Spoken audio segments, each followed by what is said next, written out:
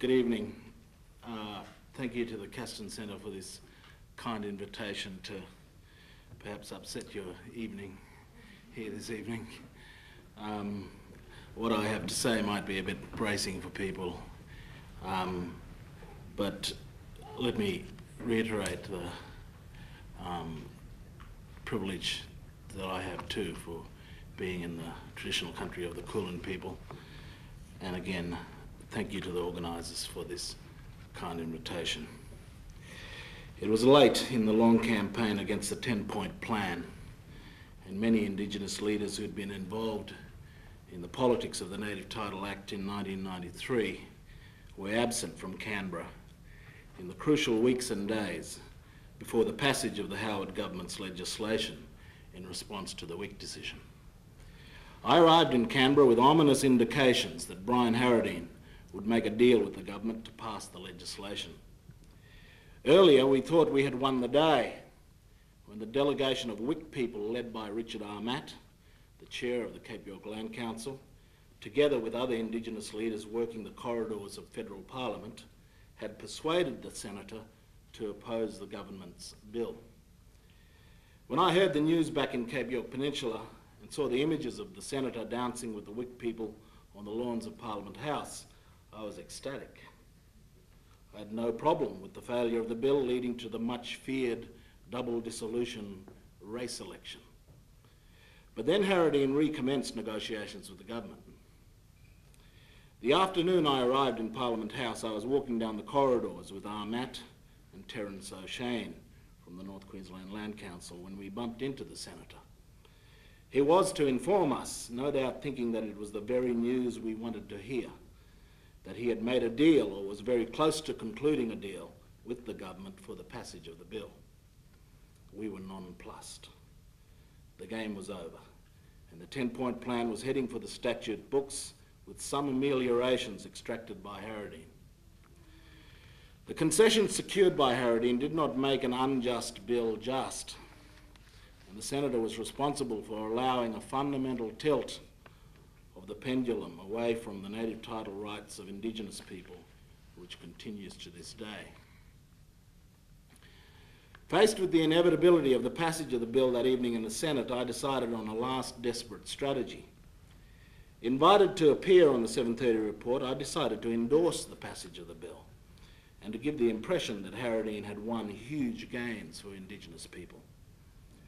My hope was to incite the lunatics from the far right of the coalition, Senators O'Chee, Lightfoot, etc., so that they would reject the bill in much the same way as they had done to our advantage in 1993. The metaphor that was in my mind was like trying to push some livestock into a pen. I thought of a sudden scare just as the stock were at the mouth of the pen would have two possible consequences. There was a chance they would take fright and run off down the paddock, or they would run straight through the gate and into the pen. I was prepared to take the risk in the hope that we could snatch victory from the jaws of the defeat which Harradine had sprung for our own good, to supposedly save us from a race election. Barrie Cassidy knew what I was trying to do. Kerry O'Brien did not. And when I did the interview with Kerry, he was bewildered by my support for the passage of the bill later that night. Alas, my gamble did not work, and it is a lonely place when things don't work like that. The coalition senators knew that they had secured victory for the Australians they felt they represented, and they dutifully voted in unison. All I had achieved was I diffused the whole debate following the passage of the 10-point plan. Federal politics moved on to the next issue on the very next day. Let me now turn to another story going back to the 1997-1998 when the 10-point plan and commitments by government leaders to secure bucket loads of extinguishment consumed the nation. Ron Castan QC had long spoken to me about the need to move the momentum from Mabo from the plane of litigation in the courts to the plane of a larger political and economic settlement. Ron had warned that reliance upon the law alone was not sufficient. The furor that arose in the wake of the High Court's Wik decision in December 1996 and the bitter debates that raged during 1997 underlined the need for an alternative solution. At the same time, the former notorious leader of the CLP in the Northern Territory, Ian Tuxworth, and his colleague who had become a good friend to us in far northern Queensland, Jim Petrich, commenced a discussion within the far right of rural Australian politics, questioning whether the 10-point plan would deliver the kind of resolutions that were needed, particularly in the relationship between traditional owners, pastoralists and resource developers. It was the workability of any imposed legislative reg regime which they doubted.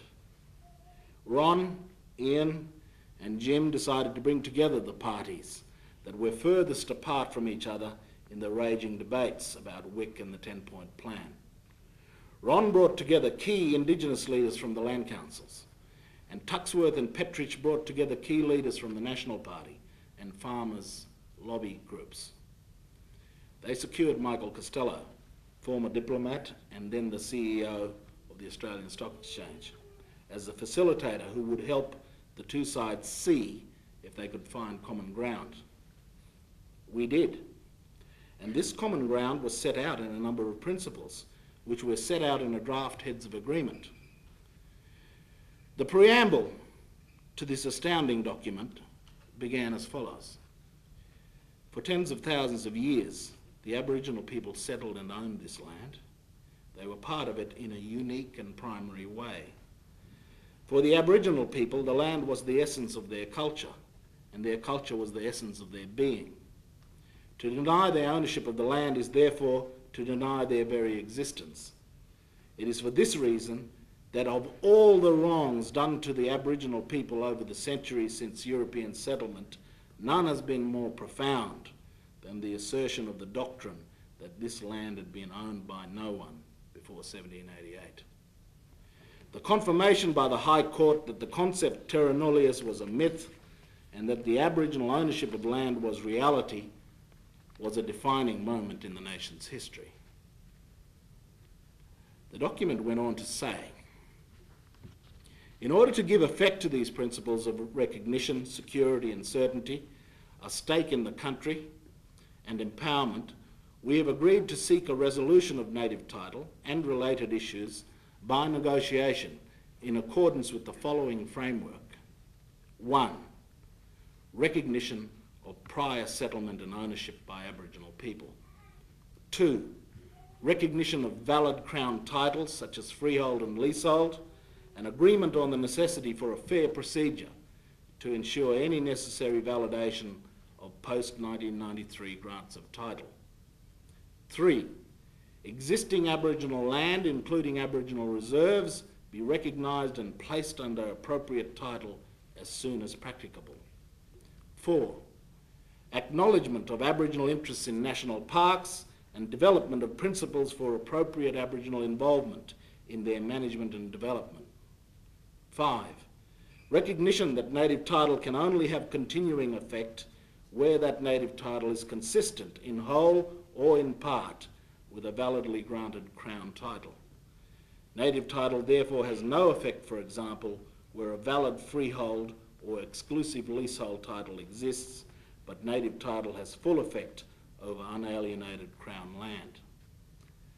Six, common law has recognised that native title can coexist with a pastoral lease but only to the extent that it does not interfere with the rights of the leaseholder under that lease. Seven, we agree to separate economic rights on pastoral leases from non-economic or cultural rights held or claimed by Aboriginal people. We therefore agree on the following principles for coexistence. Eight, we agree to separate the provision of compensation for the relinquishment of economic rights from the provision of resources to address the citizenship entitlements of Aboriginal people in health, education, housing and welfare. The first is based on justice for economic rights foregone. The second is based on the strict needs of Aboriginal people as Australian citizens. We therefore agree, A, that in compensation for the relinquishment of economic rights, an annual payment will be made to Aboriginal people for the following unstipulated years. The amount of this annual payment will be unstipulated, but calculated according to an agreed formula, for example, annual mineral production or gross domestic product. The payment will be made in such a way that it provides a long-term capital base for all Aboriginal Australians through which they can participate more fully in the economic development and prosperity of the broader economy and can sustain their culture. B, that citizenship entitlements will be properly funded and administered through arrangements to be agreed. The document went on to say, it is agreed that fairer and more efficient procedures for native title claims need to be devised as soon as practicable to ensure that legitimate claimants are treated fairly and that the uncertainties of multiple or frivolous claims are avoided. We agree that a document of reconciliation in the form of a domestic treaty between the first Australians and the Commonwealth and state and territory parliaments on behalf of the Australian people is the desired goal of the reconciliation process. We recognise that the settlement will be one between citizens of the one united Australia and that our futures are inescapably intertwined and we are, at a fundamental level, one people. The outcome of negotiations under this framework should be incorporated in a treaty and put to a referendum in the centenary year of Federation. We believe this is necessary to confirm there is overwhelming support of the Australian people for the outcome and to provide certainty against any potential legal challenge or change of legislation. We also believe it will provide a great opportunity for the Australian people to show that we are able to move forward as a nation united, where all Australians can live their culture, achieve respect, and realise their aspirations. These principles, referring to the establishment of, quote, a long-term capital base, end quote, for Indigenous communities, culminating in, quote, a document of reconciliation in the form of a domestic treaty, end quote, to be put to a referendum were the product of an informally convened and conducted dialogue between key Indigenous leaders and key leaders from the regional and rural right Australian politics. These were the people who I described as coming from just this side of one nation. Having identified the basis for common ground between rural and Indigenous interests, the next challenge was to see if the same principles could gain the support of the miners. Ron and I met with the then chair of the Minerals Council in Brisbane, but the miners were banking on the 10-point plan to deliver certainty and workability for them. Similarly, representatives from the teams that had developed these heads of agreement briefed members of the government and the opposition in Canberra, but without the miners, there was little prospect of the federal government changing course. So what was at the time called the Bennelong process, not to be confused with what was later to become the right-wing think tank on Indigenous policy, the Bennelong Society, was put aside and the parliamentary process of the 10-point plan continued to unfold. Ron Castan taught me a critical lesson in 1998. He illuminated for me what I have since called the 80 to 90% strategy of Indigenous advocacy, as opposed to the 51% strategy with which I was familiar. I used to say to him, you look after the law, Ron, I'll look after the politics. But it was Ron who would get me to see that there's more common ground between Indigenous people and people from the right of Australian politics and society than conventional politics would have it. People from the rural and regional right of Australia firstly have many interests in common with Indigenous people. Secondly, they have an understanding of the issues and problems. Thirdly, they have many genuine friendships and relationships with Indigenous people. And they may be unsentimental or inelegant in their demeanour, but many of the ones to whom I'm referring are fundamentally decent and have goodwill. What I understand is that much of the right's objections to Aboriginal aspirations were rooted in their objection to these aspirations being identified with leftist moralising. I came to see how much the form in which Indigenous issues were presented disproportionately determined the responses of the two sides of Australian politics and society, rather than necessarily the substance. Let me briefly explain the 51% approach to Indigenous advocacy. If we divide the Australian constituency into the who would generally support Labor, the mob who would support the Greens and the Democrats, and the Liberals, the Nationals, and of course One Nation straddling the furthest bottom of the Labor Party and the furthest right of the coalition. Our traditional approach to Indigenous advocacy was to work with those most sympathetic to Indigenous interests, and it depended upon them having control of Parliament and the ability to pass laws in our favour and to make policies and to make decisions in government in our favour. That was the traditional and is the long-standing way in which we have achieved gains for Indigenous rights by pursuing 51% strategies. That is, hoping that those who support us are not 49%, but are in power, and secondly, when they are in power, they're going to have the courage to take up uh, the cause on our behalf. I can tell you when the ructions were happening in 1997-98, and there were rallies and conferences and, and, and meetings in, in, in Sydney and Melbourne, which for me demonstrated that in this 51% battle we were making huge inroads into the softer parts of the Liberal Party. In some of the most, the, most enthusiastic supporters of Wik came from the north of Sydney and in the east of Sydney and so on. And uh, there was a lot of energy and, and, and um, we felt that we were kind of not 51%, we were getting in there into Howard's territory, 53, 56. And um, of course, the lesson we learned was that whilst there was a there would be a preparedness to support us in a campaign against um, the the trashing of the Wik decision and perhaps the um, overriding of the Racial Discrimination Act. Whatever inroads you make um, in, a, in a campaign like that does not necessarily translate into a vote at the next election. They might go with you on the native title campaign, but at the next election, um, it's hard to dislodge them from their uh, tribal loyalties.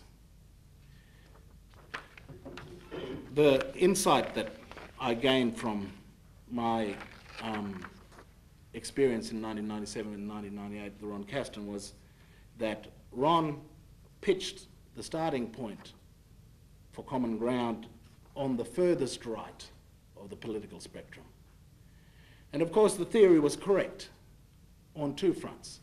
Firstly, presumably, if you can get the furthest right of Australian politics to endorse support for Aboriginal rights and Aboriginal aspirations, then presumably everybody counterclockwise to them um, is a, an assured supporter of the outcome. And the problem with the 51% strategy is, and if you push everything, um, if you push every strategy through the 51% clockwise direction, then you kind of lock everybody into their ideological camps on the left or right of politics. Whereas the discussions that we had in 1998, we carved out a common ground um, with the far right of Australian politics as I say, just this side of one nation. And we find that if you've had common ground with those people, then, then you have an 80 to 90% strategy going. Second reason for thinking seriously about this kind of strategy is that if you want to enshrine a treaty in a constitutional amendment, everybody in this room knows that you need 80 to 90% of the Australian electorate supporting the outcome, supporting you in a referendum. So there's no use talking about constitutional amendment or treaties and so on if you do not have an 80 to 90% strategy. And my impatience with many people advocating the rights of Indigenous peoples who understand what it is that is needed in order to, for example, get a treaty enshrined in, uh, with, with constitutional support in this country, is that whilst we push for that as an aspiration, we're unwilling to do the unpalatable political legwork to get the support for it to be put into place. And that was a, a very keen lesson I took from the experience in 1997-98.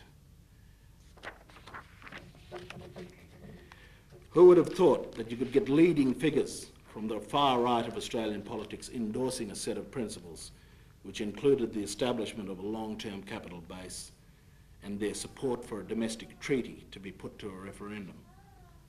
The Bennelong process allowed both sides, for a brief time, to explore common ground with clear eyes. For many of you here tonight, you'll take from the legacy of Ron Castan true succour for the cause of human rights, because there was no more deft an advocate, nor one who had achieved so much for the cause of human dignity and equality than he. But let me speak testament to another side of this man. He was an unreserved believer in the need for and entitlement of Indigenous Australians to share in the wealth of their own country. There was not a skerrick of equivocation about this in him whatsoever. Coming as he did from a privileged background, Ron used to joke to me, you have to pick your grandparents, Noel, and I was lucky. He harboured no double standards in relation to black people and wealth. Ron Castan was unusual.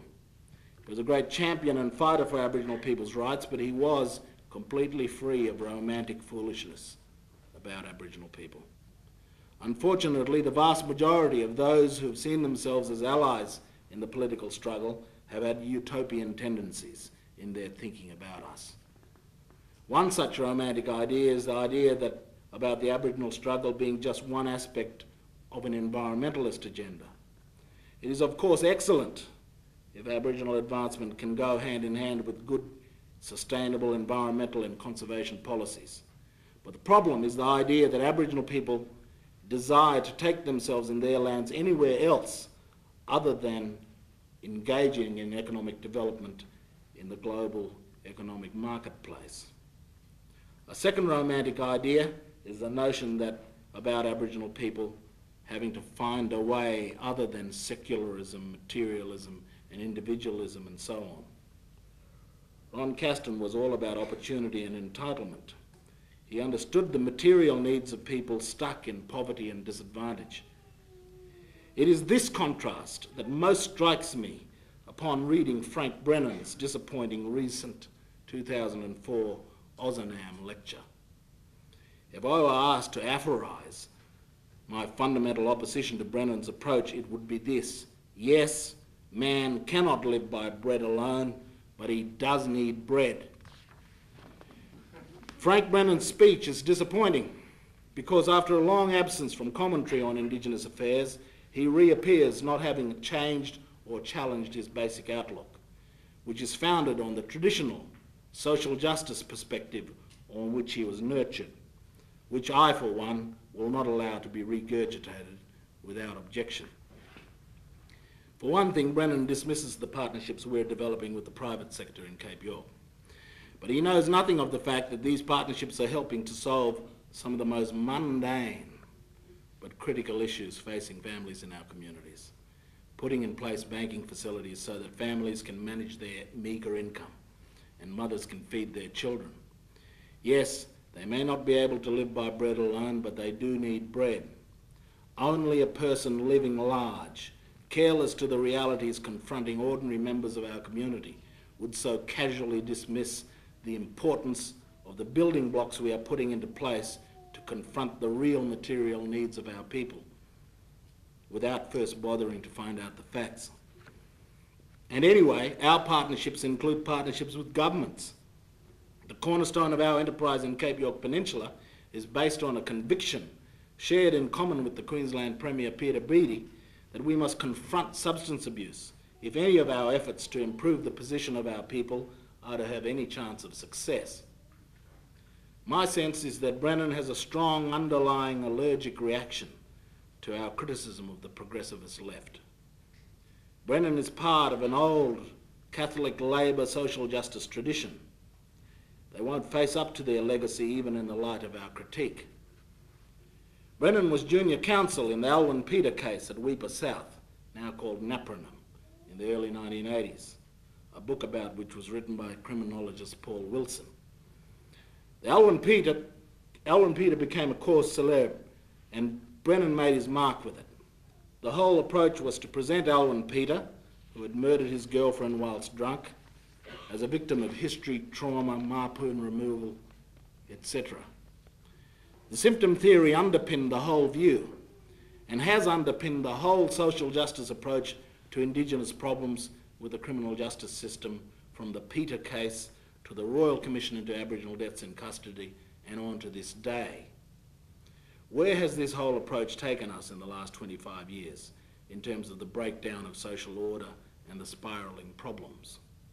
For a start, we in Cape York have launched a major critique of the symptom theory approach to substance abuse and sought to get policymakers to understand that whatever the reasons for people being highly susceptible to developing substance abuse problems, it is the substance abuse that becomes a problem in its own right and must therefore be confronted as a problem in its own right.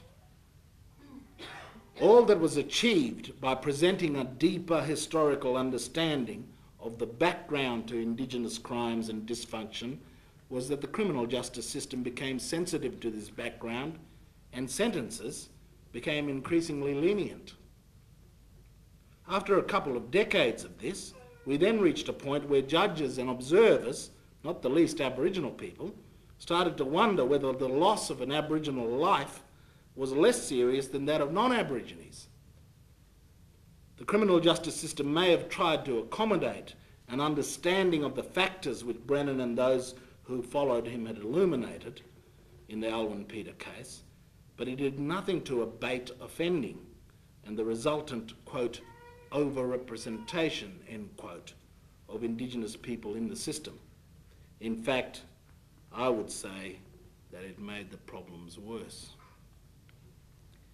At one point in his lecture, Brennan talks about, quote, the minimisation of substance abuse as, end quote, as if this is separate to Indigenous people being, quote, entitled to the building blocks for the rejuvenation of their spirituality, the protection of their culture, and the preservation of their Indigenous identity.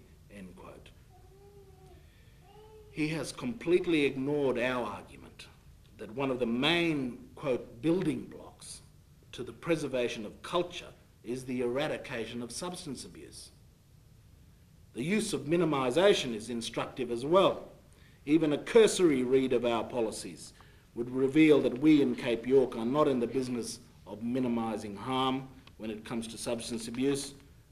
We want to prevent it.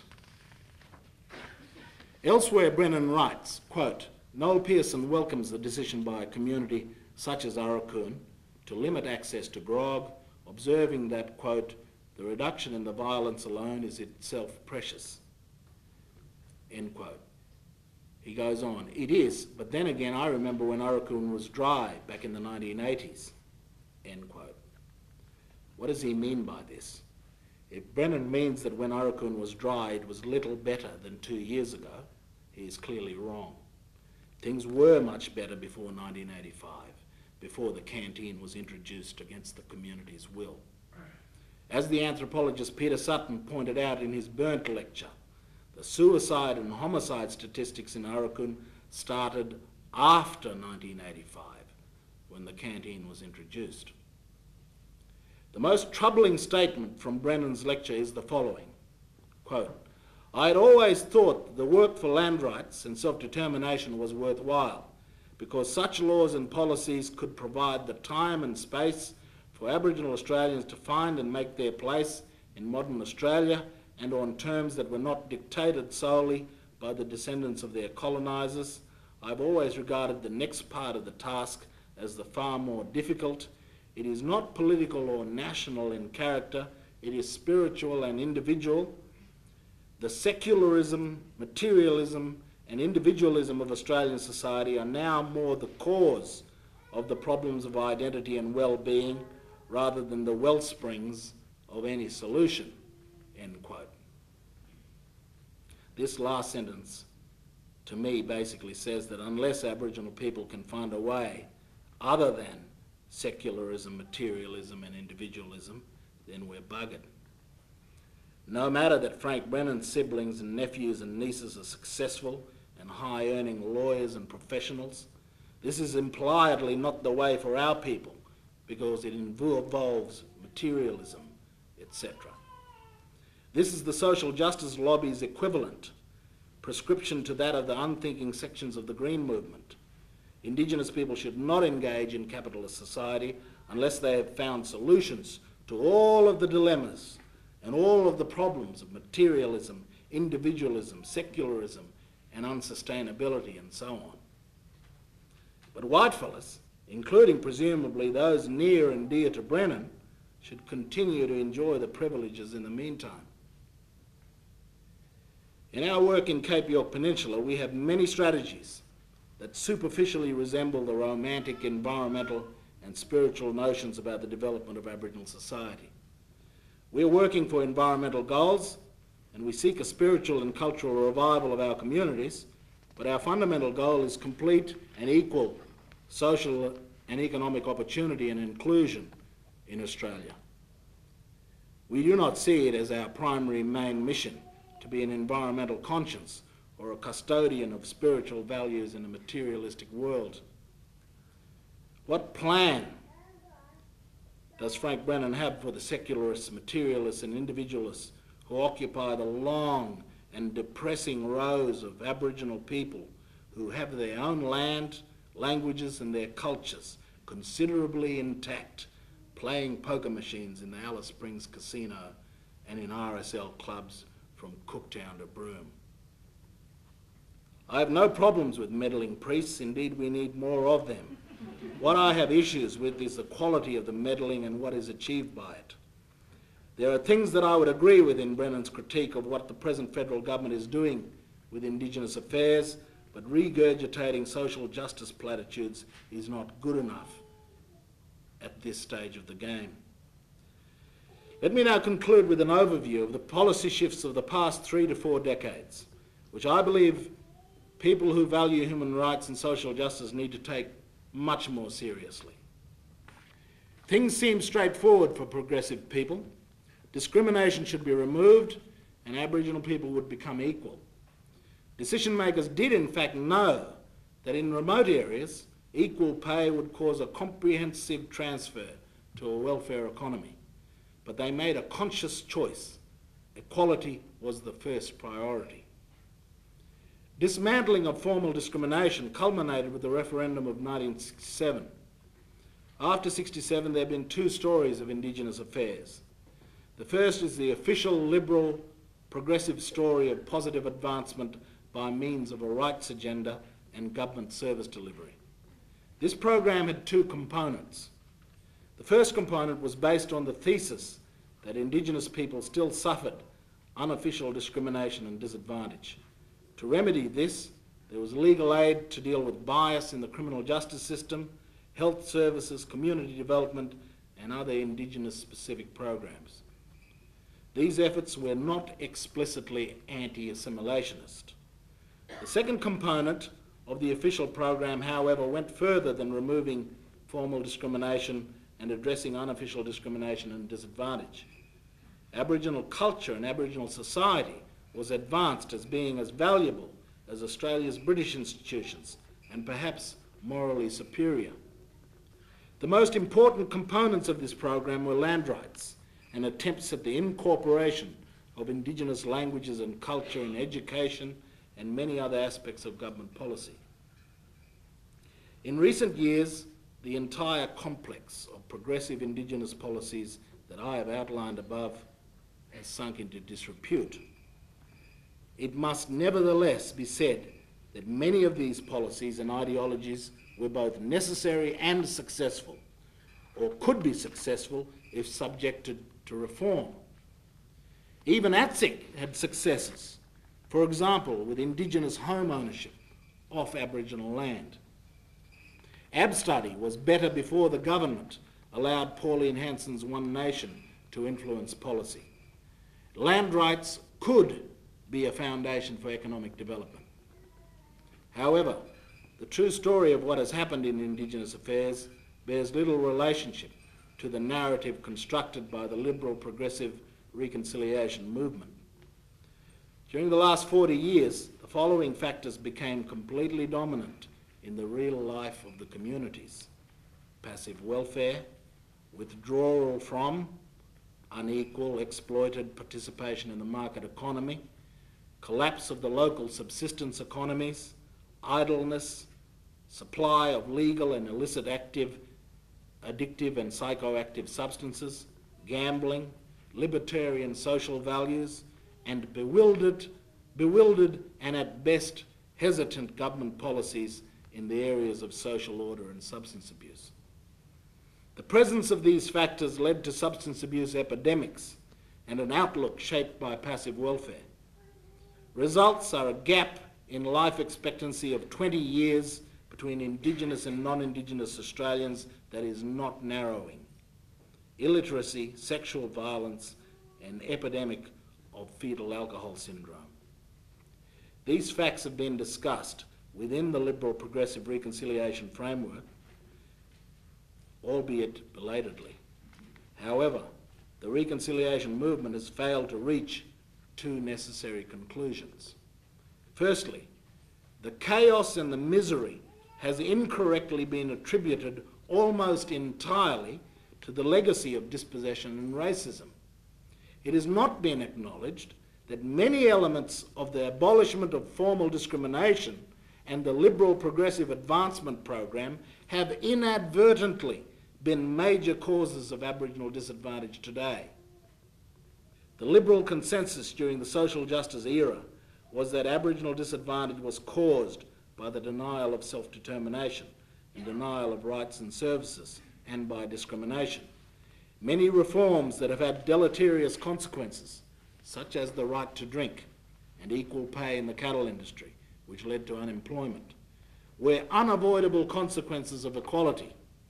But there was no discourse about Aboriginal responsibility in this new situation. Nor was there any awareness that many elements in the positive advancement program were flawed. Policies for recognition of culture and language, correct in principle, marginalised Indigenous people instead of making them fully integrated citizens with a strong cultural identity. Legal aid policies and criminological theory did nothing to reduce crime or to help the victims of crime. One item on the anti-discrimination agenda is still unfinished business. Government misuse of confiscated Aboriginal wages was a crime even during the era of protection and discrimination, but has not yet been adequately rectified. However, the situation has deteriorated to a point where even the just act of handing back illegally withheld wages presents a dilemma. One of the reasons why we initiated Cape York partnerships with governments and the private sector was that we saw how any kind of money supply, including the restitution of stolen wages, was likely to facilitate and exacerbate substance abuse and gambling. The second necessary conclusion is that the numerous official documents articulating the official reconciliation program are diversions. The Royal Commission into Aboriginal Deaths in Custody and other like reports and the vast academic literature, all these piles of paper give little guidance to our work in Cape York Peninsula. Today, the real story of Indigenous affairs is no longer containable. The liberal progressive interpretation of Indigenous affairs is not standing up to scrutiny. It is half right, but also half wrong. Let me make some con- concluding remarks. I had the extremely great privilege of having Ron Castan as a personal mentor um, in my uh, restricted development as a lawyer and um, more ambitious undertaking as a political activist. I still remember the phone number, 9608 7001. I can never remember any other phone number, but I can remember that one because it was inscribed in my brain every time I had a problem. 9608 7001, Aiken Chambers, and I get put straight through every time. Um, I want to thank uh, Melissa and the family and the Centre for extending to me the privilege of speaking in his memory here tonight. Thank you.